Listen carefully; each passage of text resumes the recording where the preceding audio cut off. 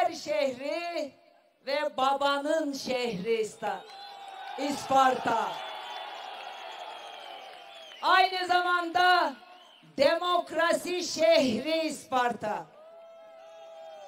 Sivil siyasetin merkezi İsparta. Siyasi rekabetin siyasi rekabetin merkezi İsparta. Bugün size bugün size geldik. Bugün bugün İsparta'dan emanet oylarınız var ya onları geri almaya geldik. Ve ve size babanın kızını emanet etmeye geldik. Evet. Çok değerli İspartalı hemşerilerim. Bambaşka bir, bambaşka bir konuşma hazırlamıştım. Ama sabah kalktık. Dolar 4.88 olmuş. Her tarafta büyük bir endişe var. Büyük yok yok yok.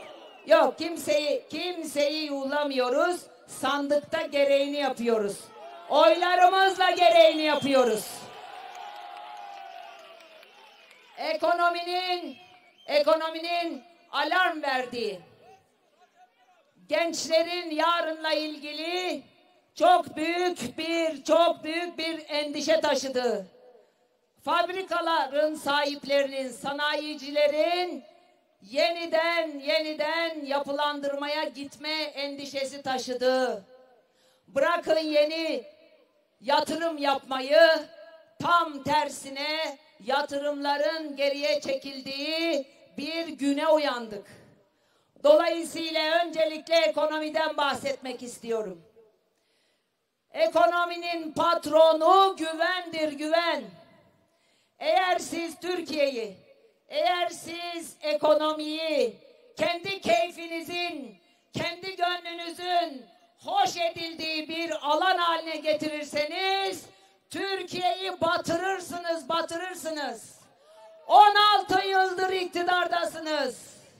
24 Haziran'da eğer kazanırsam faizi düşüreceğim diyorsun. Eğer eğer 24 Haziran'da kazanırsam doları düşüreceğim diyorsun. Hadi oradan be. Hadi de şimdi düşür. Hadi şimdi düşür. Hadi şimdi düşür.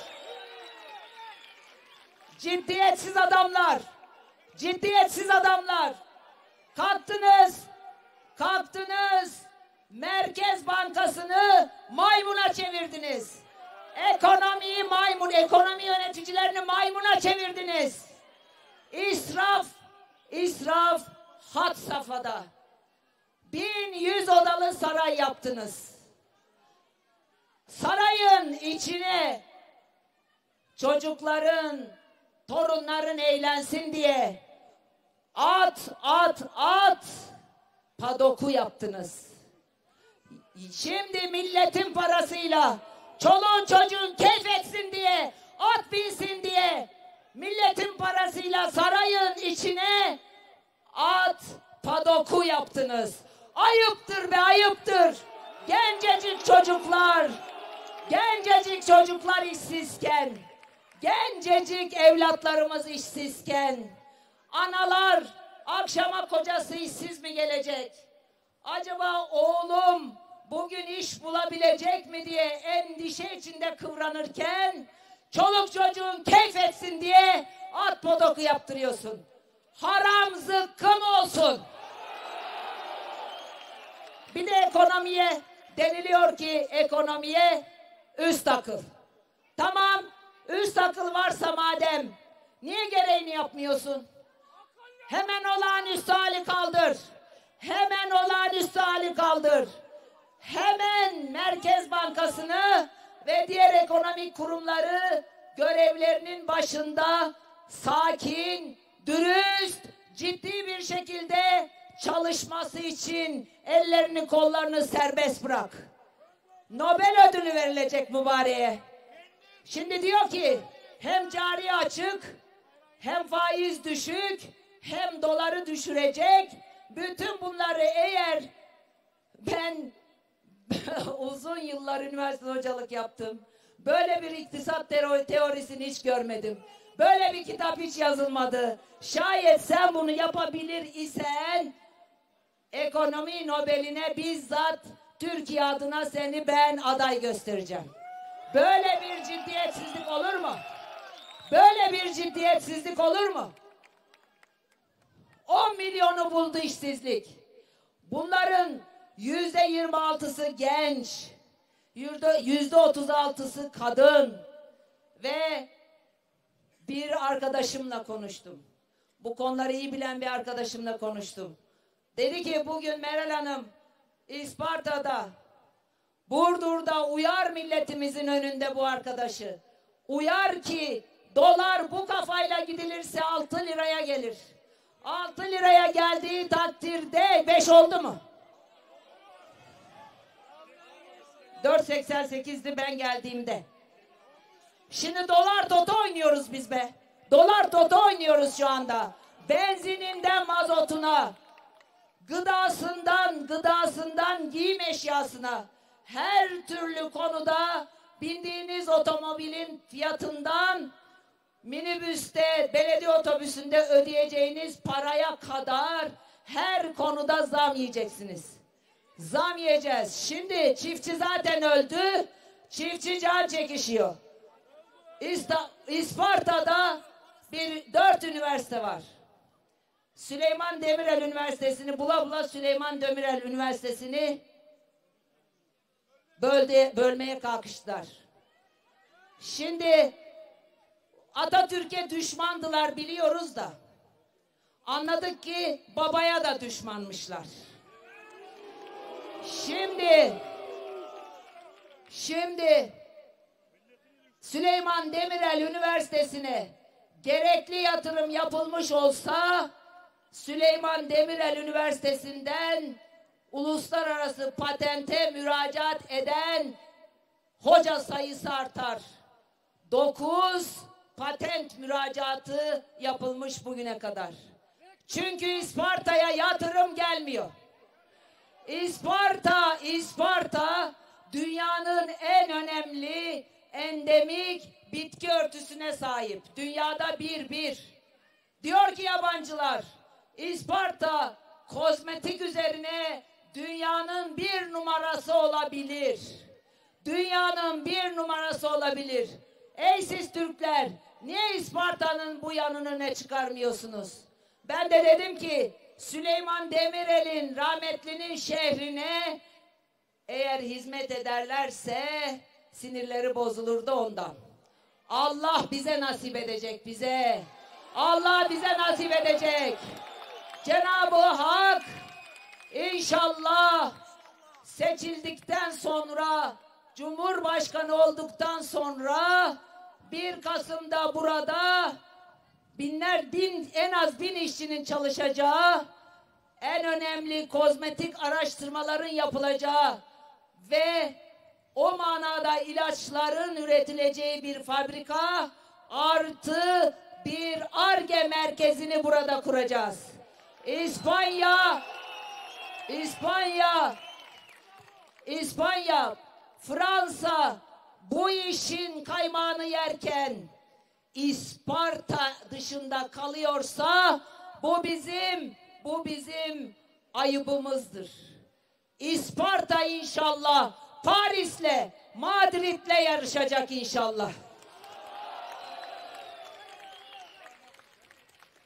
Çiftçiyi sevmiyorlar zaten. Onun için elmalar dalda kalır.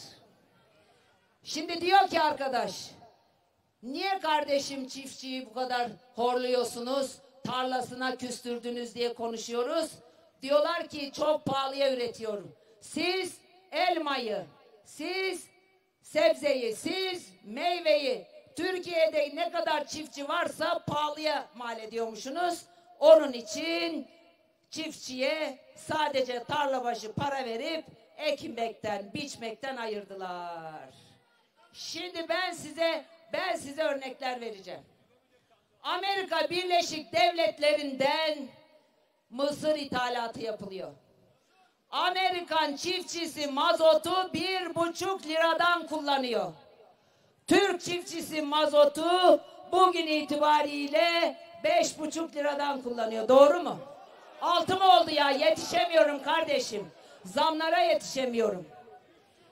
Şimdi senin çiftçin 6 liradan mazot kullanırsa Amerikan çiftçisi bir buçuk liradan Türk parasıyla mazot kullanırsa Amerikan çiftçisiyle sen rekabet edebilir misin?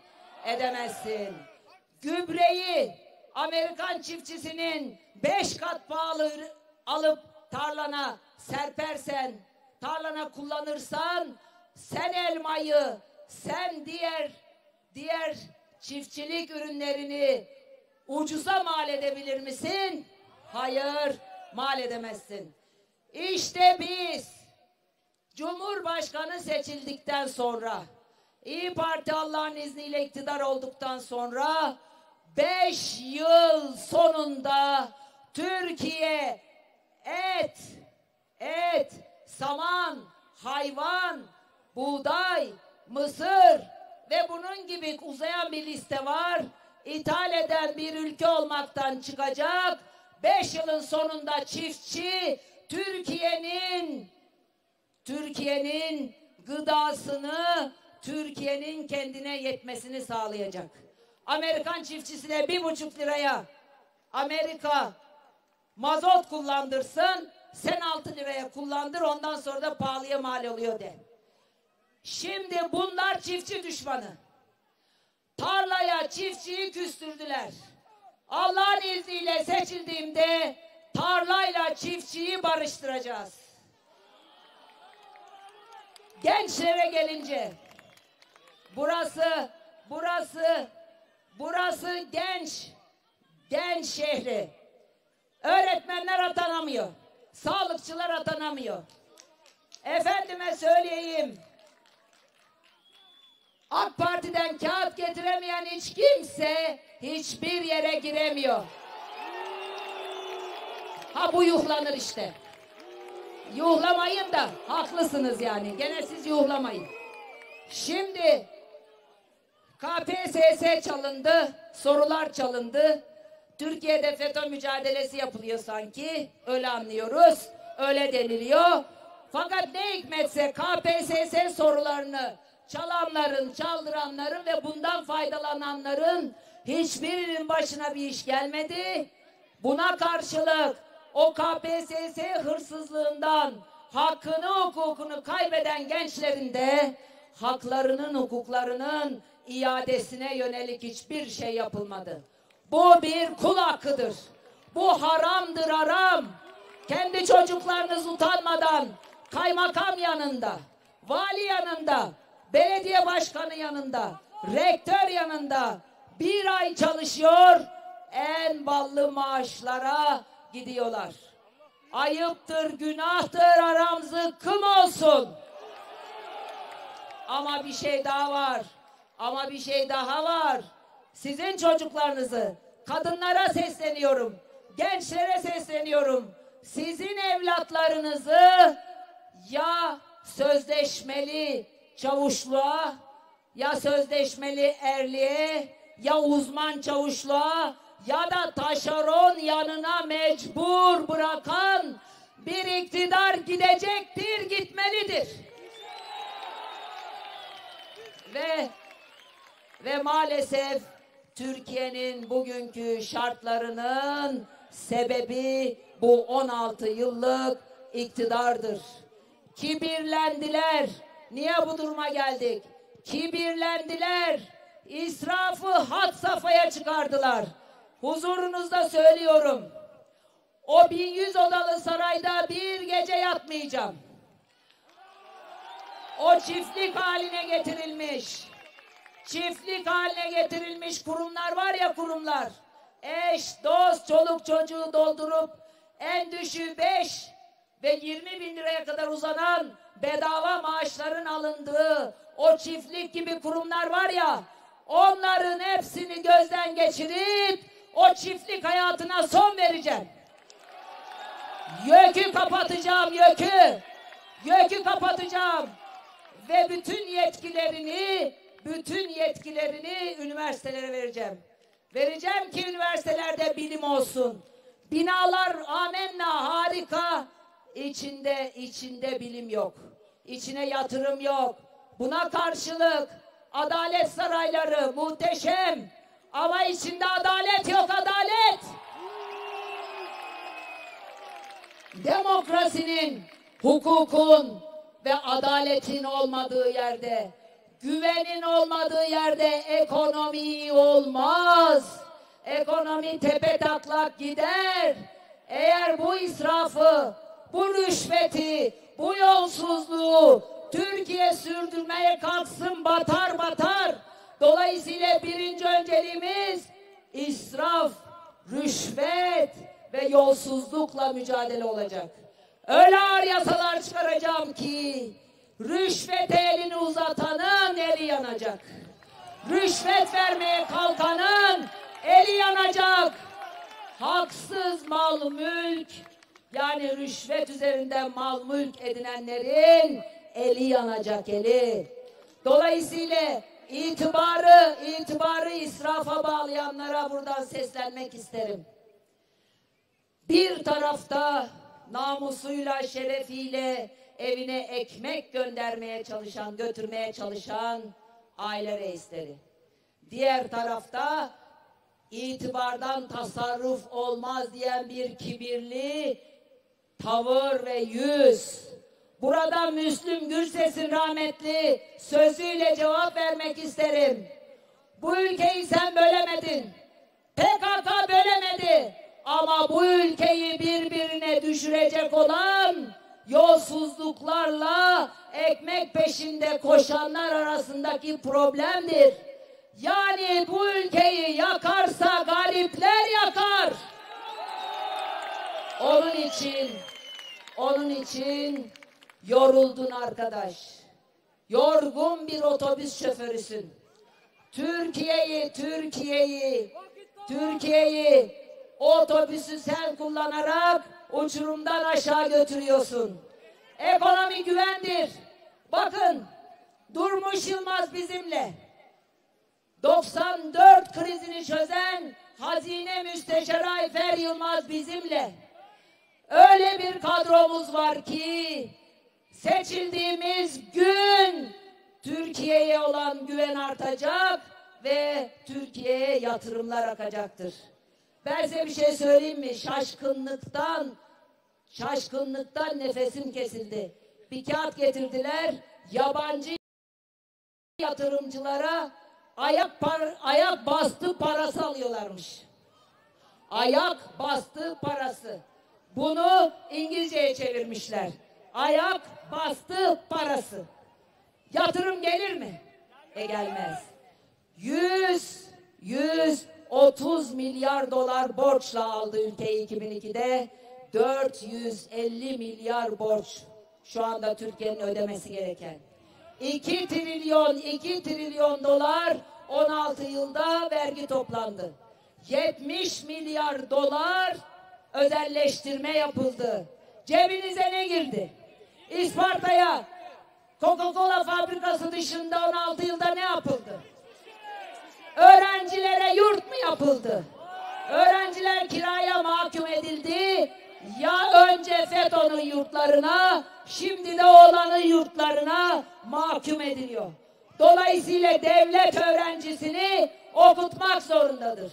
Barındırmak zorundadır ve öğrencisini, kafası, gencini, kafası rahat okulunda okumasını sağlamak zorundadır.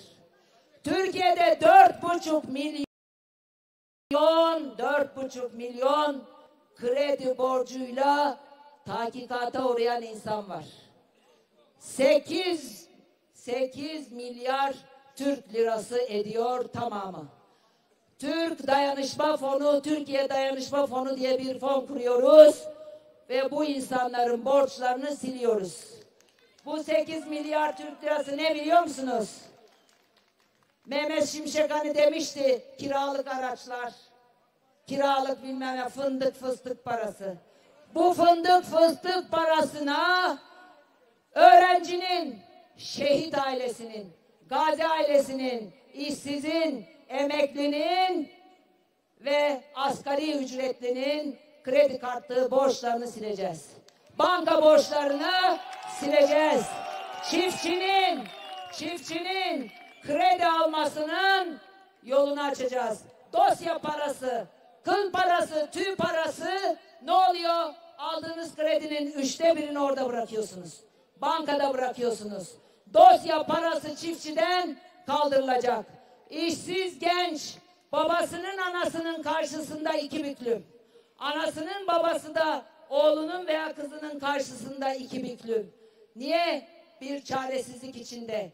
Eğer bu ülke, bu devlet gencine iş bulamıyorsa ona bakmak zorundadır.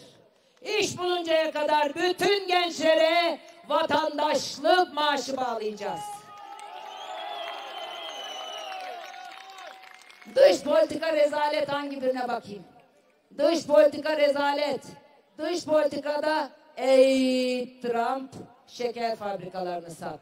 Ey Hollanda ondan sonra git Hollanda'yla gıda gıda anlaşması yap. Ey Macron de arkasından uçak al. Ey Putin de git S-400 al. Ey İsrail'de ondan sonra ondan sonra da dön 20 milyon liraya 9 şehidin kanını sat. Yalnız dikkatinizi dikkatinizi çekiyor mu? Bak bak bak bak bak. Şimdi Sayın Erdoğan dünyaya eğit diyor da yahu bir tek şu gariban Meral Akşener'e eğit demedi bugüne kadar. Niye demiyor sizce? Niye demiyor? Bir eğit Meral Akşener niye demiyor? Aa, niye demiyor biliyor musunuz?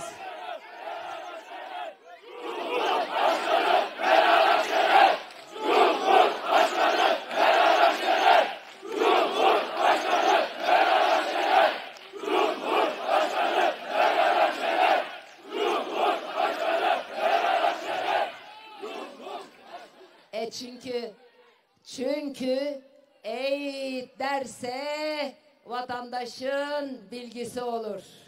Size bir soru gençler. Sayın Erdoğan bütün muhalefeti bugüne kadar tanzim etti. Hep rakiplerini kendi seçti. Bir adet rakip çıktı karşısına ne yapacağını şaşırdı. Korkudan uykusu kaçıyor. Şimdi öyle bir rakip çıktı ki karşısına. Ben size bir şey söyleyeyim mi? Hem rahmetli Başbuğ Türkeş'in çırağı hem rahmetli Demirel'in çırağı. Yandı, yandı, yandı. Yandı. Yandı arkadaş. Şimdi, şimdi eğit kısmına gelince soru şu. İkinci turda, ikinci tura kalıyor zaten. İkinci turda kimi karşısında istemez arkadaş? Evet Meral Akşener. Onun için de ikinci tura kimin kalacağına siz karar vereceksiniz. Sayın Erdoğan'ı sevindirecek misiniz? Yoksa yorgun, yorgun şoförü gönderecek misiniz? Ben buradan Sayın Erdoğan'a sormak isterim. Ya yorgun bir şoförün arabasına biner misin? E binmez. Peki ehliyeti olmayan bir şoförün arabasına biner misin? Ee, binmez. Dolayısıyla çok yoruldun. Hadi teşekkür ederiz. Doğru evine git birazcık dinlen. Şimdi şimdi bu 3600'ü değerli polis kardeşlerim ben sizin eski İçişleri Bakanınızım. Yaşlılarınıza sorun sizin için ne yapmışım vakti zamanında. Ama bekledim ki 3600'ü devamlı ben söylüyorum. Hani seçim üstü size bir kıyak çekerler diye. Ama maalesef polisi kendinin, askeri kendinin kabul ettiği için size hiçbir zırnık yapmadı. Ama ben size evladı kabul eden bu kadın 3600 meselenizi çözeceğim Allah'ın izniyle. Şimdi Gençlerle ilgili, gençlerle ilgili bugünümüzün teminatısınız siz. Sizi umutsuzluğa, sizi geriye itmeye, sizden korkmaya hakkımız yok. Ben size güveniyorum. Ben sizin fikirlerinize saygı duyuyorum. Bu ülkeyi kalkındıracağınıza inanıyorum. Fikri olan her gence mutlaka yatırım yapacağım. Fikriniz varsa ve o fikirle ilgili şirket kurmak istiyorsanız o fikre saygı duyacağım ve size yatırım yapacağım. Şimdi de yatırım yapılıyor. Ama nasıl bir dolan başlı yol alabilirseniz ben meral değilim. Dolayısıyla bütün dünyanın dolar milyarderleri şu anda genç. İnovasyonun, teknolojinin dünyanın merkezinde olduğu bir dönemde koca İsparta'dan, üniversiteden sadece 9 patent için müracaat ediliyorsa o üniversitenin, gençlerin, hocaların ayıbı değil, bu tamamen bu devleti yönetenlerin ayıbıdır. Bu ayıba son vereceğiz, son vereceğiz.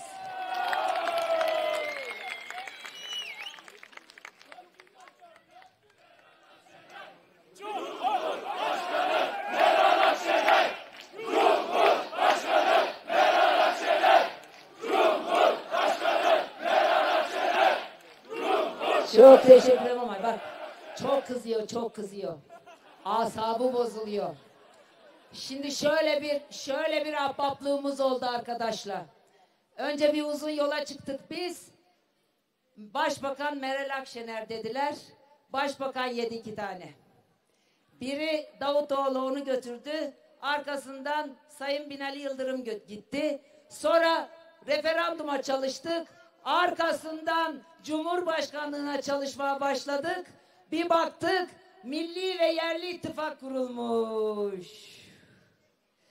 Şimdi bu arkadaşlar milli ise nasıl oluyor ki milliyetçiliği ayağının altına almış bir şahısla bu ittifakta yan yana olunuyor? Bir, bitmedi bitmedi. İki, iki, madem ki Türk milliyetçileri vampir gibi kandan besleniyor, nasıl bu arkadaşa oy verecekler, nasıl bu arkadaşla yan yana oldular? Sayın Erdoğan her türlü milliyetçiliğe karşı olduğunun altını çizmiştir. Peki tam 29 Ekim'de Peşmerge'nin davulla zurnayla geçişi oldu Türkiye'den. Buna yol verenler, lahmacun paralarını sizin vergilerinizle, bizim vergilerimizle lahmacun paralarını ödeyenler, hendekler kazılırken valiye emniyet müdürüne, jandarmaya kafanı çevir diyenler, yerli ve milli, biz gayrimilliyiz öyle mi? Hadi oradan be, hadi oradan be. Süleyman Şah'ın Süleyman Şah'ın türbesini YPG ile kaçıracaksın. Ondan sonra yer değiştireceksin ecdadın mezarına. Ondan sonra sen yerli ve milli olacaksın.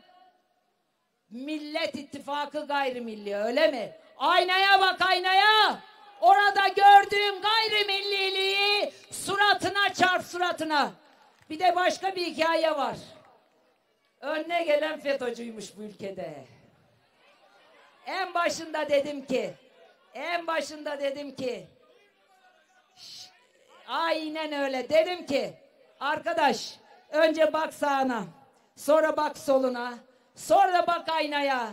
Bütün gördüklerin FETÖ'cüdür, bütün gördüklerin gayrimillidir. Bu ülkenin itibarını iki paralık edenler gayrimillidir. Bu ülkenin parasının değerini yerle bir edenler gayrimillidir.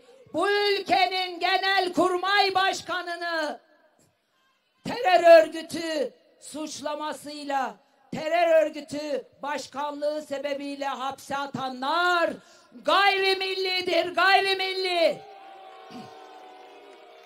Bu ülkenin ta Abdülhamit Han devrinden gelen Kuleli Askeri Lisesi'ni, bütün askeri okulları, Işıklar Askeri Lisesi'ni kapatanlar gayrimillidir, gayrimillidir. Polis akademilerini, polis kolejlerini kapatanlar gayrimillidir. Oradaki gariban Anadolu çocuklarını, gariban Anadolu çocuklarını FETÖ'nün kucağına iteceksin.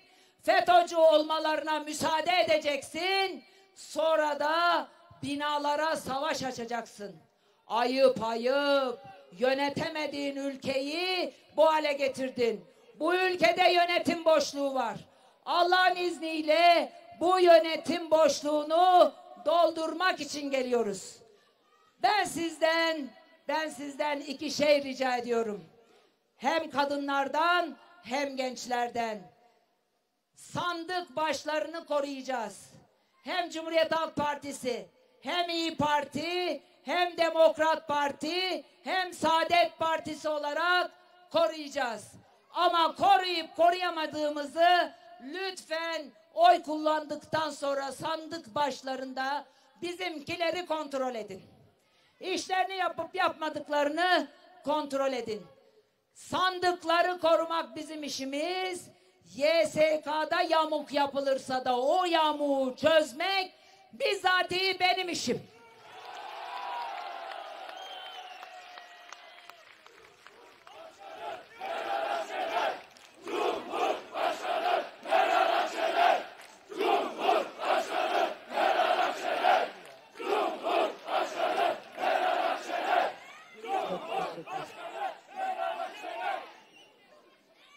Teşekkür ederim.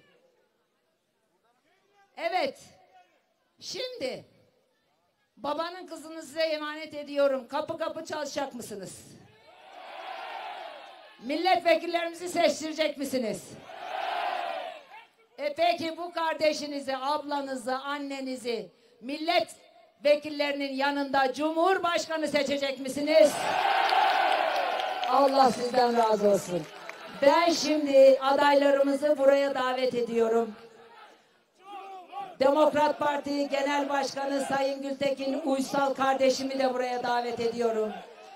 Bir ve beraber olarak ödünç oyları, emanet oyları geri alıyor muyuz? Geri alıyor muyuz? Geri alıyor muyuz? Allah razı olsun. Başaracağız.